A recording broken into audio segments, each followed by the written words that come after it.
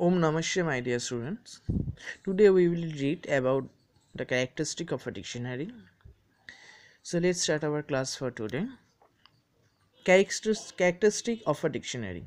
Dictionaries like list are mutable and that is the only similarity they have with list. Otherwise dictionary are different type of data structure with the following characteristics. So basically there is one difference between the dictionary and list and that is the mutable. That's when we can change the value of dictionary like uh, list but otherwise there are lots of uh, other characteristics there first one that is a unordered set dictionary is a unordered set of key value pairs its uh, value can contain references to any type of the object. So basically dictionary that is a unordered set of the value pairs. And the value that can be contain different type of objects means we can store different type of uh, data as a value of a particular dictionary. Next one that is a not a sequence. Number two unlike a string list and tuple a dictionary is not a sequence because it's an unordered set of element. The sequence are indexed by a range of ordinal numbers hence they are ordered but a character but a dictionary is an unordered collection. Here it's saying that is a dictionary. As we know the dictionary is an unordered set of values pairs key value pairs. So that's why it's a, are not a sequence. See when we are creating a dictionary definitely we define uh, we define the value and keys in a sequence. But when you are going to print that particular dictionary different type is show the uh, values in different sequence. That's why they say it's not a sequence.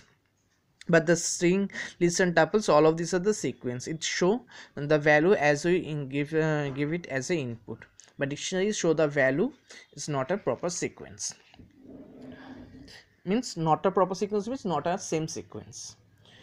Okay. Next one that is a point number three. That is index by keys not number. Dictionary are indexed by keys. According to python a key can be a non-mutable type. Key should be a non-mutable type means you cannot change the value of the key. Since string and numbers are not mutable you can uh, use them as a key in a dictionary. So here in a dictionary we can use number and string as a uh, key value and if a tuple contain immutable objects such as integer or string etc then only it can also be used as a key. So if a tuple contain only the immutable value then we can also use as a key. But the value in a dictionary can be of any type. The types can be mixed within one dictionary. So but the value it can be any type. It can be integer type. It can be float type. It can be string type. Even it can be also tuple type. So that's why we can mix different type of value in a dictionary now look at the example. Here we define one dictionary as dict1 next we define the value of and the key of the dictionary. So first one that is the key and second one is the value key.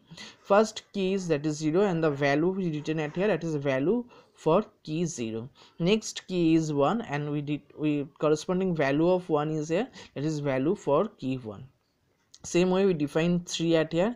You see look at here 3 we define within the quotient. That means became a string value. And the value of this particular key is that is value for a string as a key. Next we define a tuple at here that uh, as a key. And the value of that particular tuple is that is value for a tuple as a key okay and here we use one string value at here. That is n for uh, fun. That is the key key string at here and the corresponding value is 7 now when you are writing dict 0 that means the 0 is the key value key at here. So what is the value of that particular key? It's a value uh, our key 0 so that's value printed here. Next for dict 4 comma 5 means this tuple this value this line it will be print as a value of this particular tuple set here. So difference one we can see at here. So that's mean we define one dictionary with uh, mixed type of keys. We can define integer key at here string key at here tuples key at here. Say again we define string key at here next point that is key must be unique. Here it say that all the key should be unique. We that's thing we can see also in this example. Here we define different kinds of uh, data as a key but all the keys are the difference. That's mean all the keys are the unique so each of the key within a dictionary must be unique. Since uh, key are used to identify the value in a dictionary they cannot be duplicate key in a dictionary. However two unique uh, key can be the same value that is considered the word count dictionary declared at see the value can be same but the key cannot be same. Here uh, we can see that hornbill and peacock both key is used at here and the both of their value is 15 and 15 so that's mean value can be same. Value can be we can repeat but key we cannot repeat. Next point that is a mutable. Since list uh, dictionary are also mutable we can change the value of it of a certain key in the place using the assignment statement as per the syntax. So see look at here. Here it say that uh, dictionary is immutable. That's mean we can change the value of the dictionary. For this one we just need only the key that's been in which key the value will be changed. Because in the dictionary key is used as a index positions. So you have to the syntax is dictionary. Within uh, this square bracket you have to define the key value. And next you have to use, use the assignment operator right here to store that particular value in that key so there is a example. Look at this example. Here we define dict3 dict3 means that's value for a string. It was there in that program previous one. This one. It is defined. Okay? So next we write that is a dict3 equals to that is changing to new string. That's mean that value the previous value was this one. Now the value is changed and it's become the change to new string. And after that when we print this dict3 then we get the new value at here. Okay. So in this way we can change the value of dictionary but one thing you have to keep it in mind that the key that particular key should be uh, should be exist in your dictionary. Here it says but you can add a new uh, key value pair to a dictionary using a simple assignment statement that we did at here. But the key being added should be unique. That's the most important thing that key should be unique.